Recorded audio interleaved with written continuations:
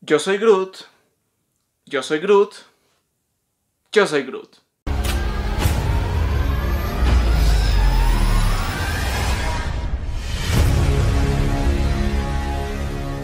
Yo soy... Ok, no voy a estar hablando en Groot todo el video. Como sabemos, en unos días se estrena la serie Yo Soy Groot. Una serie de cortos que sigue nuestro tronquito favorito. Aún no estoy seguro si la serie es canon, según James Gunn no, y que según esto ocurre en la Tierra 314, o Tierra Pi, como el director la llamó. ¡Demonios, Gunn!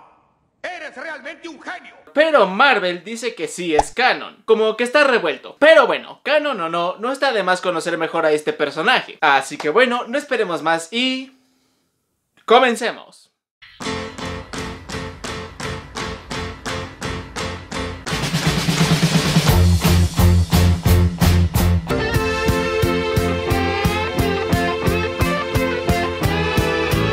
Creado por Stan Lee, Larry Lieber y Jack Kirby, Groot apareció por primera vez en Tales to Astonish número 13 en noviembre de 1960 e inició apareciendo como un villano. Pero años más tarde harían a Groot un personaje noble y heroico que se unió a los Guardianes de la Galaxia.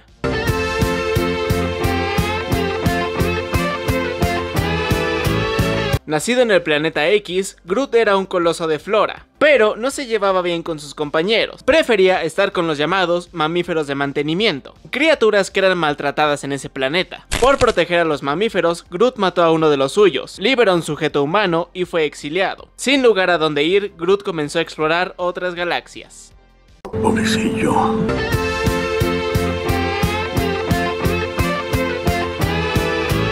De adulto, Groot se encontraba en el espacio Kree, donde fue capturado y encarcelado. Mientras estaba en la cárcel, conoció a Rocket Raccoon y formaron una estrecha amistad. Fueron asignados a un equipo de operaciones encubiertas dirigido por Peter Quill alias Star-Lord. Su objetivo era atacar el planeta Hala y derrotar a Falnax. Por desgracia, el cuerpo de Groot fue destruido, pero una ramita lo preservó y quedó bajo el cuidado de Rocket. Eventualmente, Groot volvió a crecer ayudando al equipo de Star-Lord, y aunque lo volvieron a destruir gracias a una ramita, volvió a crecer.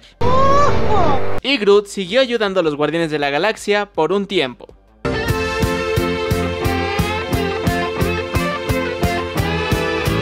Groot y Rocket vivieron algunas aventuras individualmente, como por ejemplo ser atrapados en el Mojoverse y protagonizar un programa de televisión, pero lo resolvieron. Pero se volvieron a unir a los Guardianes de la Galaxia y ayudaron a los Vengadores a luchar contra Thanos. Thanos había conseguido el cubo cósmico y se unió a los Badun, una especie de hermandad reptiliana. Thanos aparentemente destruyó a los ancianos del universo para así imponer su supremacía. Aparentemente, también mató a los Vengadores y a los Guardianes con el cubo cósmico. Pero no, realmente fueron enviados al Cancerverse, un lugar donde la vida derrotó a la muerte. Junto con los ancianos, Tony Stark descubrió que Thanos no tenía el cubo cósmico, y que incluso tenía defecto. Creyó que no lo vimos. Pero sí.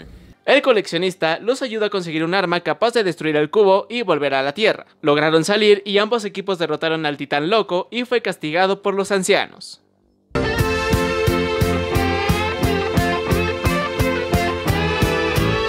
Después de que los guardianes le quitaran el simbionte Venom a Flash Thompson, este escaparía y se uniría a Groot por un tiempo, pero claro, se lo quitaría luego luego. Los guardianes de la galaxia buscaron el Black Vortex, un antiguo artefacto que otorga poder. Groot junto con Cyclops y Iceman fueron capturados por Mr. Knife. Claro que lograron escapar y encontraron el Black Vortex. Groot fue sometido al poder de este artefacto y obtuvo poderes cósmicos. Y aunque rechazó estos poderes, su apariencia cambió ligeramente. Ahora su cuerpo tenía enredaderas coronadas por losas protectoras de madera.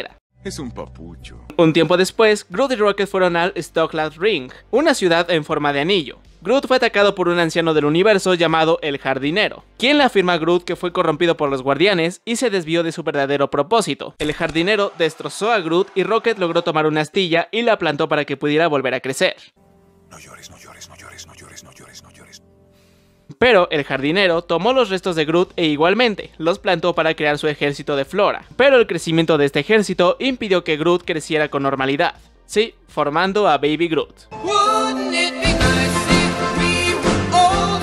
Los guardianes se enfrentaron al ejército de Flora. Groot logró curar al jardinero ya que tenía un veneno que lo volvió loco, y en cambio el anciano lo regresó a su tamaño normal. Y no solo eso, ahora podía hablar oraciones completas, pero solo en tercera persona. Algún tiempo después, Nova le pidió ayuda a los guardianes para detener a los atletas olímpicos, que habían renacido como dioses rebeldes en busca de sangre. Groot se negó a ir debido a su preocupación por la seguridad de los demás. Los guardianes lograron detener a los Dark Olympians, pero el costo fue que perdieron a Star-Lord. Después de eso, Gamora se separó de los guardianes y formó su propio equipo de mercenarios. El equipo de Gamora planeaba asesinar a Rocket, pero Groot logró avisarle y detuvieron al rival de Rocket, Blackjack O'Hare. Unos momentos después. Star-Lord, que se encontraba en el planeta Murinus, donde estuvo 100 años, pero sin envejecer, volvió para anunciar que los Dark Olympians escaparon. Ambos equipos se unieron, pero por desgracia Groot fue carbonizado por un rayo de Zeus. Rocket le pidió al príncipe de poder que con la gema del poder lo regresara a la vida. Funcionó, pero el lenguaje de Groot se limitó de nuevo a Yo soy Groot. Tras la derrota de los Dark Olympians, los guardianes fueron sancionados por el Consejo Galáctico como protectores a la luz de la creciente incertidumbre del paisaje galáctico. Incluso les proporcionaron un cuartel general en la estación espacial Proscenium.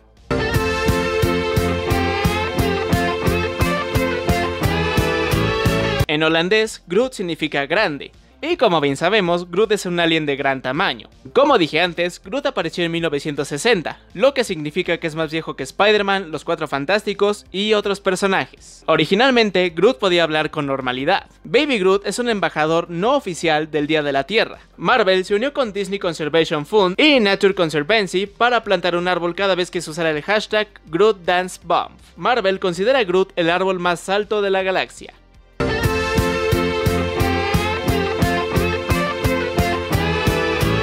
Como recordaremos, Groot viene de un planeta lleno de árboles humanoide, dándole las siguientes habilidades. Regeneración, o algo así. Cuando es destruido, vuelve a crecer gracias a una ramita. Puede aumentar su tamaño a voluntad, al igual que extender sus extremidades. Fuerza y durabilidad sobrehumana, cloroquinesis, por lo que puede controlar las plantas o su forma física. Tiene la habilidad de curar a otros, tal como curó al jardinero del veneno.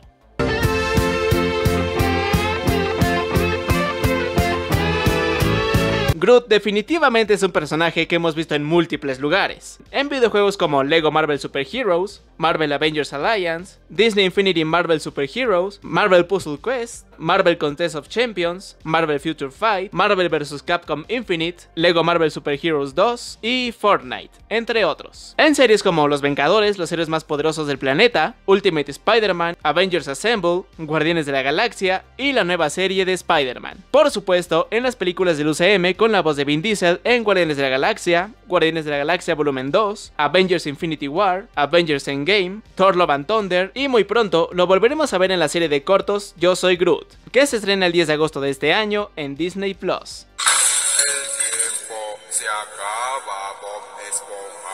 Y bueno, entertainers, eso sería todo lo que tienen que saber sobre Groot. Pero claro, como ustedes ya deben de saber, si conocen algún otro dato curioso o importante sobre el personaje, por favor coméntenlo. Pero bueno, al momento que estoy grabando este video sigue siendo el día de Spider-Man, así que hagamos una pregunta relacionada al día. Me tientas, me tientas, hagámoslo. Díganme tres actores que hayan interpretado a Spider-Man, eh, eh, eh, eh, que no sean ni Tobey Maguire, ni Andrew Garfield, ni Tom Holland. Y miren, para que vean que soy bueno con ustedes, también pueden ser actores que prestaron su voz para un proyecto de animación, de videojuegos, algo así. Pero menciónenme tres. Por lo mientras, síganme en todas mis redes sociales.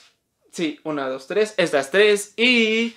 Una, dos, tres, estas tres. Y antes que nada, quiero mandarle un saludo a Rodolfo Hernández, el Mercenario 2.0, y Andrés Moreno. Denle like y suscríbanse, o si no algo muy malo le pasará a Groot en Guardianes de la Galaxia Volumen 3. Por lo mientras yo me despido y nos vemos en la próxima.